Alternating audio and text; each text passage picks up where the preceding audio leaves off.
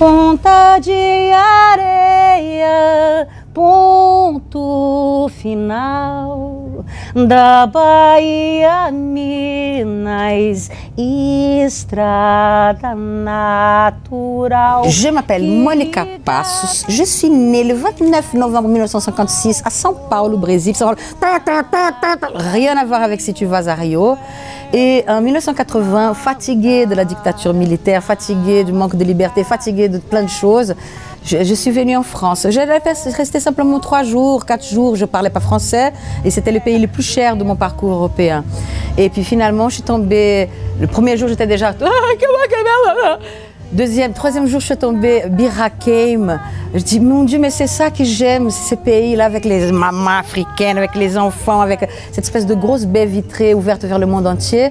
J'ai une tel coup d'amourachage que je suis restée. Je suis ravie qu'on m'invite. Tu vois, moi, je suis une, une cigale ouvrière. Les gens, ils disent, oh, quel diva Non, je suis une cigale ouvrière, je travaille pour la cause, je suis une, une artiviste euh, musicale, voilà. Donc, ces salons-là, euh, c'est l'Esprit Dame qui m'a invité. L'Esprit Dame m'a toujours, toujours aidé. Chaque 3-4 ans, je posais une demande. Est-ce que c'est possible de faire. euh, On a très peu d'argent? Oh non, non, Monica, viens. euh. Donc, euh, j'ai euh, un grand amour de ces instances-là qui ont toujours soutenu une musique populaire qui n'était pas si commode que ça, parce qu'il y a beaucoup d'improvisation. Donc, je viens d'une musique jazzistique. Ici, pour l'Europe, c'est jazzistique, mais c'est de la musique populaire brésilienne improvisée. Lé, lé, lé, lé, lé, lé, lé, lé. Que les anges soient avec vous.